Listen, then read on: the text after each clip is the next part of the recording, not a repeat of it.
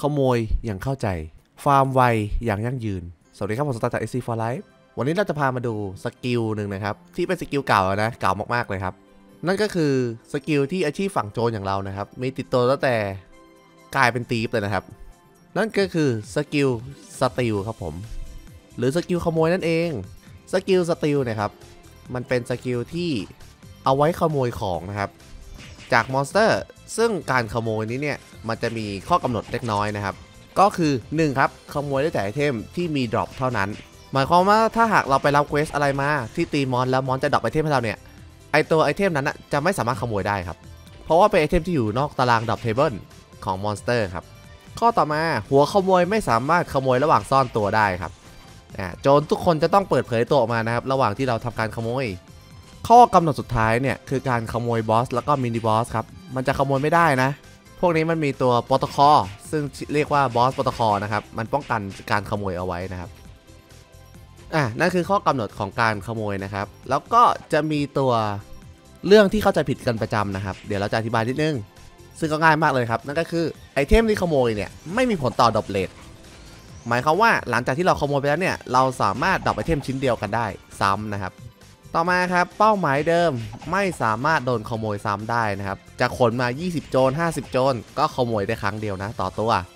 สุดท้ายครับ drop rate ไม่สามารถเพิ่มได้ในการขโมยนะครับ จะกด gum สักกี่อันนะครับ จะทำอะไรก็ไม่สามารถเพิ่ม drop rate ได้นะในการขโมย แต่มันก็หมายความว่ามันไม่สามารถลดลงได้เหมือนกันนะ แปลว่าเลเวลต่างกับมอนเท่าไหร่เนี่ย ก็ไม่มีโทษในการดรอปนะครับทีนี้เราจะขโมยมอนสเตอร์เนี่ย เราจะสามารถขโมยมอนสเตอร์ด้วยอัตราเท่าไหร่ เรื่องนี้ต้องตอบด้วย DEX ล้วนๆนะครับ DEX ของคนใช้ ซึ่งสกิลในตารางเนี่ย มันจะบอกว่าโอกาสติดอยู่ที่ 64%ใช่ไหม แต่ว่ามันไม่ใช่นะ อัตราจริงๆอยู่ข้างล่างครับ เห็นไหม per port success rate นะครับ นั่นคืออัตราสำเร็จที่แท้จริง ซึ่งมันจะเป็นสูตรคำนวณนะครับ โดยมีผลจากค่า DEX ของมอนสเตอร์ แล้วก็ผลของผู้ใช้งานนะครับ อะ เดี๋ยวเรามาอธิบายตัวนี้ก่อน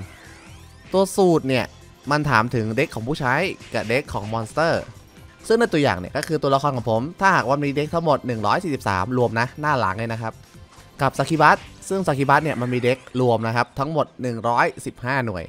ซึ่ง DEX มอนมีเท่าไหร่นะครับจะต้องไปดูในวิกิเอานะ เราไม่สามารถดูในเกมได้นะครับอะทีนี้พอเราได้ DEX ของเรากับ DEX ของมอนแล้ว เราก็ต้องมาดูอัตราการดรอปมอนสเตอร์นะครับ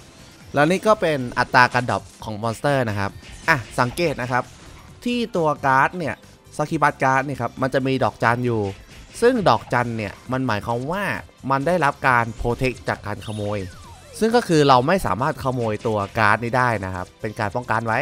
ทำให้ใน patch ปัจจุบันนะครับ ไม่สามารถขโมยการ์ดได้นะอ่าชัดเจนนะอะทีนี้เราก็จะเอาสูตรตะกี้กลับมานะครับ แล้วเราก็จะแทนตัว DEX ของเรากับของมอนเข้าไป ใส่สกิลเลเวลคูณด้วย 3 เข้าไปครับ จากนั้นก็คำนวณได้เลย ซึ่งในตัวอย่างผมก็คือ 68 นะครับ 68 นี่คืออะไร 68 นี่คืออัตราการขโมยของผมนะครับ ซึ่งเอามาคูณกับ drop rate ของไอเทมนั้นก่อน อย่างเช่นในตัวอย่างนี้ถ้าเราจะขโมยดอกม่วงแล้วกัน ดอกม่วงนะครับ อ่า Mastela Fruit นะครับ มีอัตราการดรอปอยู่ที่ 7.5%เราก็เอา 7.5 นั้นมาคูณกับ 68 ของเรานะครับ คิดเป็นเปอร์เซ็นต์ ก็จะได้ออกมาเป็น 5.1%นะ 5.1%นี่คืออัตราการกด steal แล้วได้ไอเทมนี้มานะครับ อ่าตะกี้เป็นตัวอย่างนะ ทีนี้เราก็เอาตัวอัตราตะกี้เนี่ยไปคูณกับ drop rate ทั้ง table ของมันเลย ซึ่งสิ่งที่เราจะได้มาเนี่ยก็คืออัตราการขโมยของไอเทมทุกชิ้นเลยครับอ่าแต่ละชิ้นมีอัตราการขโมยไม่เหมือนกันนะ แล้วแต่ drop rate ครับ แล้วก็อย่าลืมว่า drop rate เนี้ยไม่มีผลต่อเลเวลด้วยนะ เลเวลห่างกับมอนก็ไม่มีผลนะครับ ซึ่งอัตราการขโมยเนี่ยเราสามารถเอาเปอร์เซ็นต์ทั้งหมดเนี้ยมาบวกรวมกันได้ด้วยนะ ซึ่งในตัวอย่างผมเนี่ยจะรวมแล้วได้ 9.69% 9.69%คืออะไร 9.69%คืออัตราการที่เรากดขโมยเนี่ย แล้วเราได้อะไรบางอย่างกลับมา มันหมายความว่าถ้าหากเราลองขโมยอะไรสักอย่างประมาณสัก 10 ครั้ง เราก็น่าจะได้เทมจากตัว Succubus มาแล้วครับ อย่างน้อยชิ้นหนึ่งนะ เป็นอะไรไม่รู้แหละ แต่อย่างน้อยชิ้นหนึ่ง ทีนี้อะไรบ้างที่ทำให้เราสามารถเพิ่ม rate ในการขโมยได้ ก็แน่นอนครับ จะต้องเป็นตัว DEX นั่นเอง ถ้าเราเพิ่ม DEX มา อัตราการขโมยก็จะดีขึ้นนะครับ ส่วนโลเทเชอร์นะครับ หลายคนถามเข้ามานะว่าตัวโลเทเชอร์เนี่ยมีผลต่อการขโมยไหม ต้องบอกว่าไม่มีนะครับ เพราะว่าสคริปต์ไม่ได้บอกไว้เลย อะ เพราะฉะนั้นสรุปแล้วอัตราการขโมยเนี่ยขึ้นอยู่กับ DEX ล้วนๆเลยครับ ทีนี้นอกจาก DEX มีอะไรไหมที่ทำให้เราสามารถขโมยได้มากขึ้น ก็มีนะครับ มี หลายคนจะสังเกตแล้วว่าตัวการขโมยหรือการ steal เนี่ยเราไม่มีแอนิเมชันและที่สำคัญไม่มี ACD นะครับ คือเมื่อเราขโมยไปเนี่ยตัวสกิลของเราอะมันไม่ติด delay นั่นเอง แปลว่าเราสามารถไล่รัวๆได้นะครับสกิลที่ไม่มี motion ไม่มี delay แบบนี้นะครับ speed limit ของมันก็คือ ASPD ของเรานั่นเองครับ นั่นก็คือถ้าหากว่าเรามี ASPD สูงๆ เราสามารถ steal ไอเทมได้รัวมากขึ้น รัวมากขึ้นนะครับ ไม่ได้หมายความว่าสำเร็จมากขึ้น เพียงแค่ว่าเราจะทดสอบหลายครั้งกันเอง โอเค นั่นก็เป็นเรื่องของการ steal ทั้งหมดนะครับ อะ ไหนๆ ก็พูดถึงเรื่องการ steal แล้ว เราพูดถึงสกิล Gank หน่อยแล้วกันครับ Gank หรือชื่อที่เราเรียกกันคุ้นๆ นะครับ ก็คือ snatcher นั่นเอง Gank นี่คือการ auto cast นะครับผม auto cast สกิล steal นั่นแหละ ซึ่งอัตราการไล่ auto cast เนี่ยสูงสุดที่ 20.5%อ่ามันแค่ไล่เฉยๆนะ ไม่ได้หมายความว่าจะ steal ที่ 20.5%นะอัตราการดรอปในการ steal เนี่ยก็เหมือนเดิมครับ เหมือนที่เราคำนวณตะกี้เลย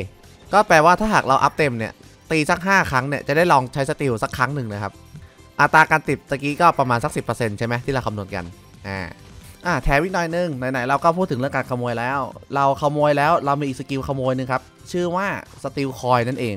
ทีนี้ Steal Coin น่าใช้ไหมอ่าต้องมาดูอัตราการสำเร็จก่อน ซึ่งอัตราการสำเร็จของมันเนี่ยคือมันเริ่มต้นด้วยเอาตัว skill level ก่อนครับอ่ามี 10 ก็คือ 10 นะ ต่อมา player ครับลบด้วยเลเวลของมอนแล้วเอาตัวเลขเนี้ยไปคูณด้วย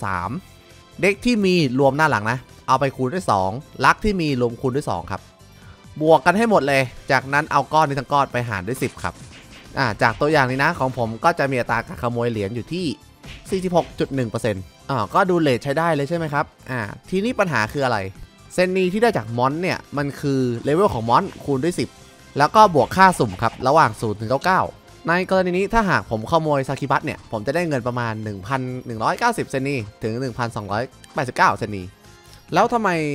คนถึงไม่นิยมทดลองใช้ Steal Coin นะครับ เพราะว่า Steal Coin เนี่ยส่วนใหญ่แล้วควรจะอัพแค่ 5 เอาไว้เป็นทางผ่านเท่านั้นนะครับทำให้อัตราการติดเนี่ยน้อยกว่าคนที่อัพเต็ม 10 แล้วก็